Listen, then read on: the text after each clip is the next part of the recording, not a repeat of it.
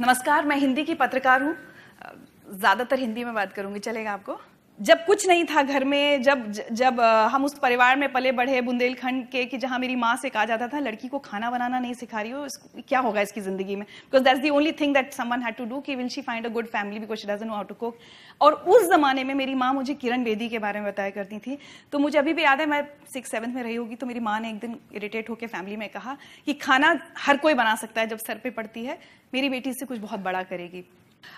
Dreams uh, में मैं एक बहुत इंपॉर्टेंट ज़रूर शेयर करना चाहूँगी. That's the most important one in my life आप लोग सब मुंबई में रहते हैं तो आपको बॉलीवुड का शायद वो ऐसा ऑब्सेशन नहीं होगा जैसा हम लोगों को छोटे शहरों में होता था.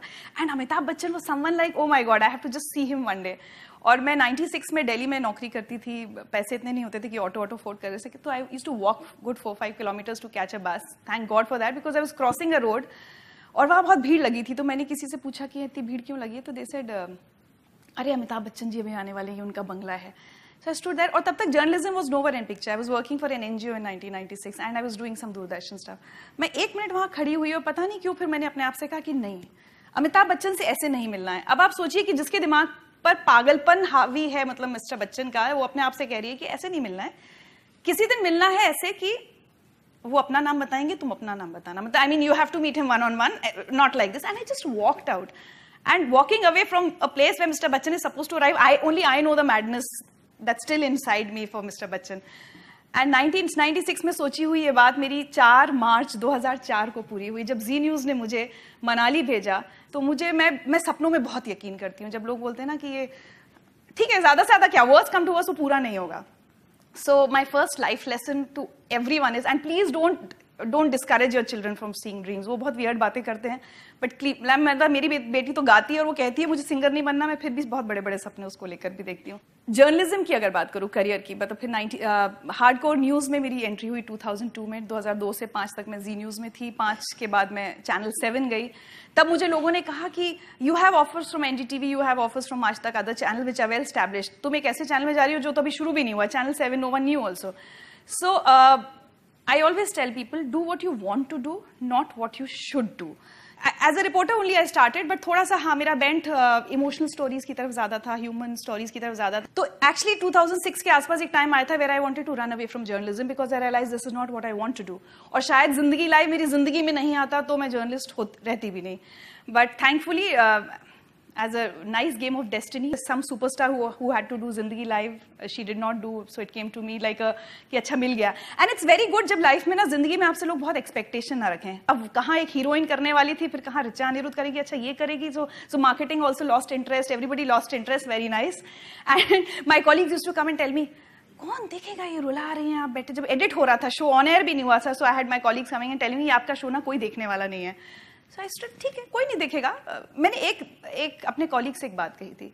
मैं किसी और के लिए शो नहीं बना रही हूँ। मैं सिर्फ़ इसलिए शो बना रही हूँ कि कम से कम रात में मैं चैन की नींद सो सकूँ कि एज अ जर्नलिस्ट मैंने कुछ तो अच्छा काम किया। सो आई डोंट नो आप में से कितने लोग ज़िंदगी लाइफ के बारे में जानते हैं। जब 2007 में शुरू हुआ था तो बहुत सारे ऐसे टॉपिक्स थे जो अब फिर बाद में सत्य में आया और अब काफ़ी बात होने लगी है।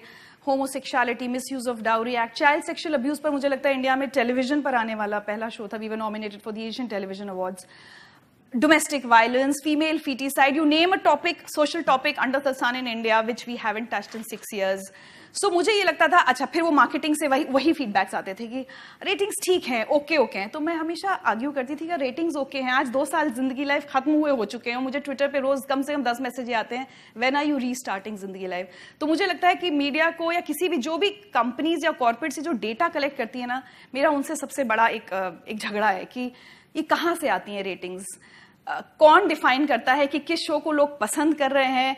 So again go against the set systems please because if you have to do something which is unique और which you want to stay happy in life आपकी ज़िंदगी में तरक्की होना हो, लेकिन कम से कम आप खुश रहेंगे अपने उससे। ज़िंदगी लाइव ने, मुझे बहुत लोग ये पूछते हैं कि ज़िंदगी लाइव ने क्या आपकी ज़िंदगी बदली? सो so, उससे पहले एक चीज़ ये ज़रूर बोलूँ कि जब रेटिंग्स नहीं आती थी तो मैं कभी कभी अगर लगता था कि रेटिंग्स नहीं आ रही तो मैं हमेशा सोचती थी what is what is that that's keeping me going to do ज़िंदगी live a mail from a girl in Allahabad saying कि I was on I was on sleeping pills for last four years मैं ज़िंदगी life देखकर मैं ज़िंदा हूँ शायद नहीं तो अभी तक मैं सुसाइड कर चुकी होती. कोई लड़का कह रहा है कि आपने कैंसर का एपिसोड चलाया मेरी माँ को कैंसर था मुझे उससे हिम्मत मिली। तब आपको लगता है कि चाहे सारी दुनिया गलत कहे आपने अपना काम सही किया। If if you been able to change even one life through your work, as a journalist, I'm saying that, it gives me the satisfaction. Or ज़िंदगी लाइफ ने मुझे खुद कैसे बदला? 2007 तक मुझे भी प्रॉब्लम्स होती थी। ओहो उसकी सैलरी इतनी है ओहो ये मेरी लाइफ में कितने प्रॉब्लम हो गए? अरे मैं बीमार पड़ गई मेरे साथ इतनी प्रॉब्लम्स की होती है। Guys stop complaining about the problems in your life you haven't met parents who lost their only child Sandeep Unni Krishnan in twenty six you haven't met a daughter whose father was burnt alive in front of her eyes in 84 riots. आप उस पिता से नहीं मिले हैं, जिसके गुजरात दंगों में, जिसकी आँखों के सामने उसकी बेटी का बलात्कार हुआ था। I mean over six years I mean अब आज हम थोड़ा हंस के कह लेते हैं कि हम रोए हैं। मेरे बगल में एक ऐसी ऐसी, ऐसे ऐसे कहानियाँ सुनी है मैंने कि उसके बाद अगर घर आकर मुझे इस बात पर दुख हो कि मेरे पास ओ my God why don't I have a Zara suit तो मुझे खुद पर शर्म आनी चाहिए या मेरे पास ऑडी या मर्सिडीज क्यों नहीं है?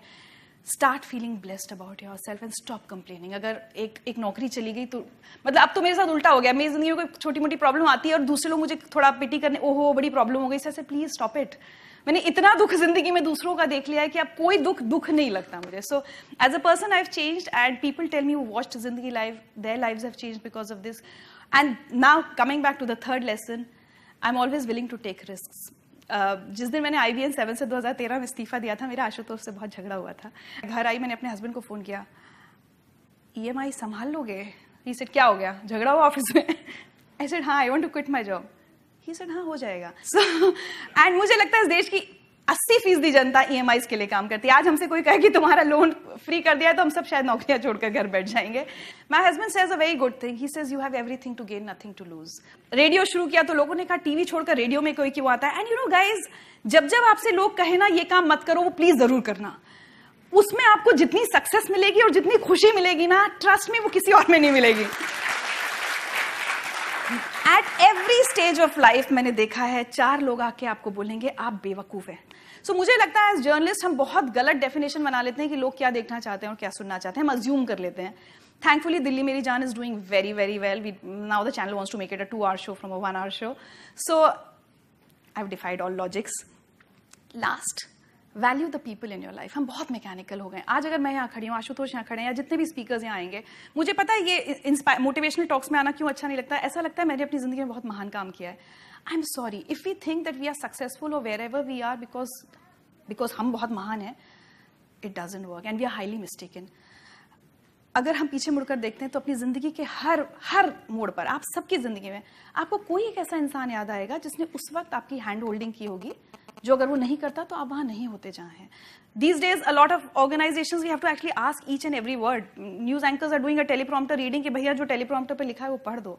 हमने वो फ्रीडम एंजॉय किया है। तो ज़िंदगी लाइफ वॉजन मतलब मैंने अकेले नहीं बना लिया। या दूरदर्शन की नौकरी मुझे किसी एक शख्स ने तो मुझ पर भरोसा करके दी होगी। किसी ने रेडियो में मुझे बुलाया तो कोई तो एक शख्स होगा। किसी ने जब and I was feeling let down तो पुश किया होगा no no no you can do this मुझे हमेशा ऐसा लगता है लाइफ में।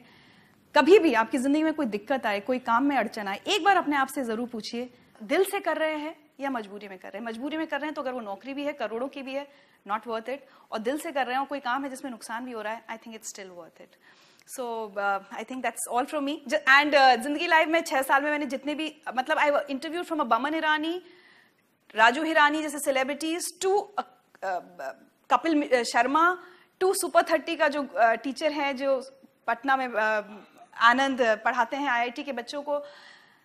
एक क्वालिटी मैंने हर एक में देखी है। They've never given up in life कितना भी हो जाए, और मुझे लगता है कि कोई भी डार्केस्ट फ़ेज़ आपकी लाइफ में आए please always remember this has to pass और नीलम कटारा जी का नाम सुना होगा आप लोगों ने Nitish Katara son was killed वो जब ज़िंदगी लाइफ में आई थी मैंने उनसे पूछा था ma'am do you ever ask yourself why me because you you are a happy family husband wife दो बेटे doing very well in life everything so and suddenly आपके एक बेटे का मर्डर होता है within I think a year your husband dies and it's all shattered. So do you ever say, why me? And you know what she said? She said, Richa मेरी ज़िंदगी के 50 साल जब मैं बहुत खुश थी एक बहुत प्यार करने वाला हस्बैंड था जान छिड़कने वाले बेटे थे तब तो मैंने कभी नहीं कहा भगवान से वाई मी सो आज जब मेरी ज़िंदगी में परेशानी आई है तो मैं क्यों कहूँ?